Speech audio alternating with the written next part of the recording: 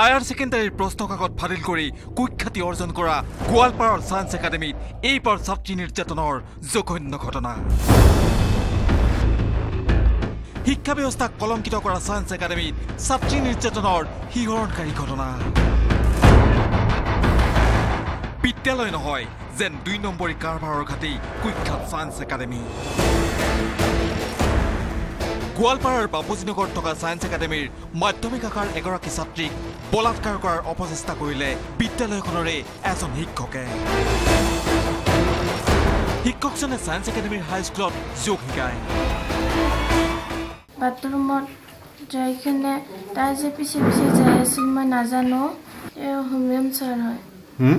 হোমিয়ম sir হয়। তোমালোকৰ teacher বিদ্যালয়তে নিজৰ কন্যা এইদৰে নিৰ্যাতিত হোৱাৰ পিছত ক্ৰোধত ফাটি পৰিছে ছাত্ৰীগৰাকীৰ মাতৃ। বলাৎকাৰৰ চেষ্টা চলোৱা যোগ শিক্ষক হুমায়ুন কবিৰক কঠোৰ শাস্তিৰ দাবী তুলিলে নিৰ্যাতিতা ছাত্ৰীৰ মাতৃয়ে। এই লম্পট শিক্ষকক তেওঁৰ হাতত গতাই দিবলৈ আবেদন জনালে নিৰ্যাতিতা ছাত্ৰীৰ মাতৃয়ে।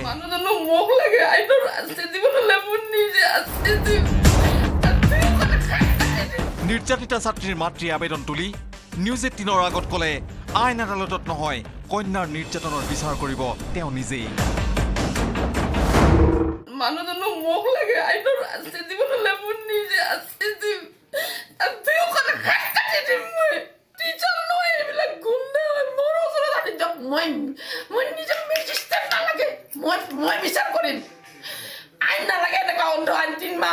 জেলৰ পৰা ওলাই দিয়ে। মোক নালাগে।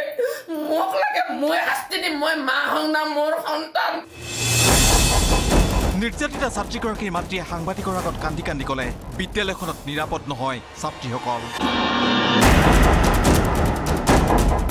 আৰু যিটো স্কুলত আছে নহয় তাত পিছৰ ৰুমৰ কোনো সুৰক্ষিত নাই।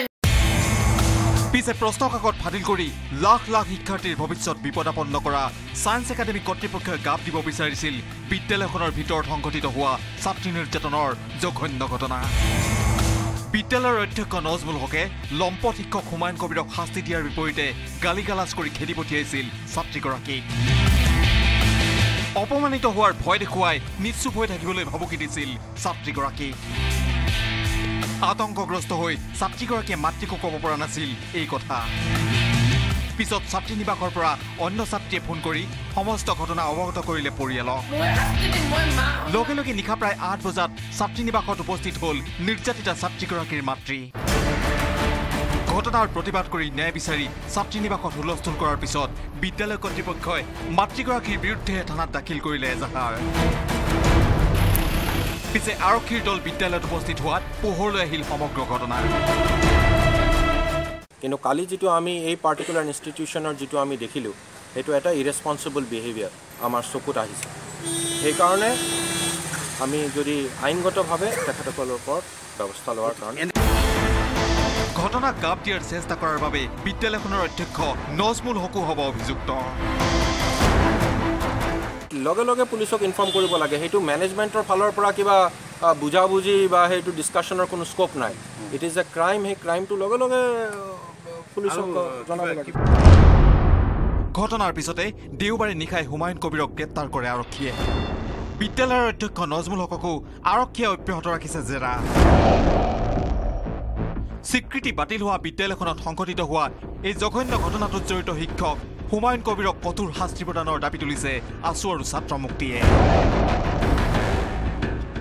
আজি যদি শিক্ষানুষ্ঠানৰ নিচিনা এটা পবিত্ৰ ঠাইত আমি ছাত্ৰীসকল সুৰক্ষিত নহয় গতিকে আমি ক'ত সুৰক্ষিত হ'ম? অসম চৰকাৰক যে ইয়াৰ এটা কঠোৰ শাস্তি বিহিব লাগে আৰু দোষীক অতি সোনকালে ফাঁচি দিয়াৰ ব্যৱস্থা কৰিব লাগে। আমাৰ দোষীজনক যি গোৱালপাৰা জিলা আৰক্ষীয়ে যি গ্ৰেপ্তাৰ কৰিছে তেওঁক অতি শীঘ্ৰে ফাঁচি দিবৰ কাৰণে আমি দাবী জনাইছোঁ।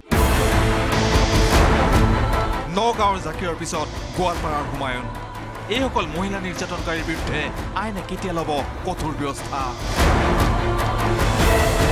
গোৱালপাৰাৰ পৰা Rinku Das news eighteen Assam north east.